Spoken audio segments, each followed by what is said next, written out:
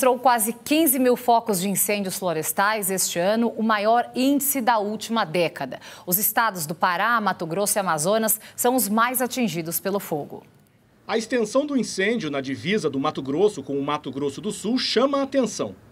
A fumaça afeta a visibilidade no céu e na base onde aviões agrícolas ajudam no combate às chamas. Agora o negócio foi tão grave que o fogo está chegando na pista ali. O pessoal está tá fazendo um acero ali, nós tivemos que trazer os aviões para cá. Fogo não perdoa. Chegou até a cachoeira do Rio Formoso, um dos lugares mais bonitos da região. Neste vídeo, um pescador relata o drama dos animais. Olha o desespero dessa anta tentando fugir do fogo, mas vai aonde? Tadinha, vai aonde? Olha daquele lado o que que espera. Olha as chamas. Olha as chamas. Os focos de incêndio no Pantanal aumentaram 223% de janeiro a setembro em relação ao mesmo período do ano passado.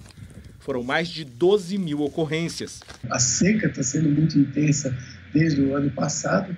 É, o grande período de chuvas, aquela, ele não entrou não formou a, a, as reservas de água que normalmente acontece no Pantanal, então isso provocou aí uma, um estresse hídrico da vegetação bastante intenso. Apesar da gravidade, o Pantanal responde por uma em cada 10 queimadas no país este ano. 27% dos registros atingiram o Cerrado. A Amazônia teve quase metade dos casos. Na terra indígena do Xingu, a devastação assusta. O fogo começa de mansinho, e logo se espalha. Queimou aqui ontem, eu estava controlando ali ó, na frente, a gente nem conseguiu, o fogo veio até, não sei quanto a altura, aí como que passou aqui ó, está sendo tudo queimado aqui o mato ó. As imagens foram feitas por Takuman Kuikuro, um cineasta. Os índios reforçam a brigada da FUNAI. É um trabalho de formiguinha pela mata fogo está espalhando quase todas as terras de Xingu aqui. Cada aldeias estão preocupadas com isso, cada um falando pelo rádio, se comunicando. A Amazônia queima noite e dia. Aos animais que sobrevivem, resta o solo escurecido. As queimadas na região aumentaram 9% este ano. Para rebater as críticas, o vice-presidente Hamilton Mourão e o ministro do Meio Ambiente, Ricardo Salles, postaram nas redes sociais um vídeo feito por pecuaristas do Pará.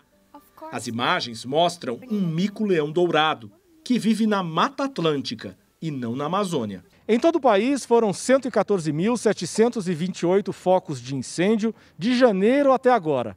É o maior índice para o período desde 2011.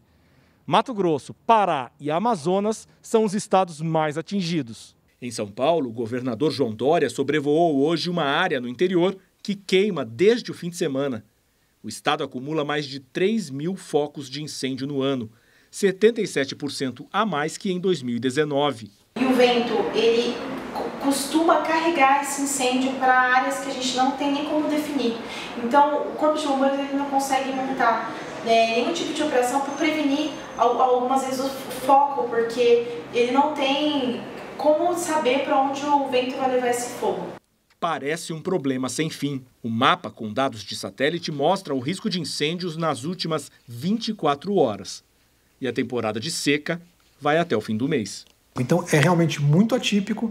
É um ano que tem sim uma seca expressiva, mas também estamos sofrendo as consequências é, do fogo colocado em áreas de pastagens plantadas, é, sobretudo, e que estão escapando para essas áreas que estão mais secas. Capaz.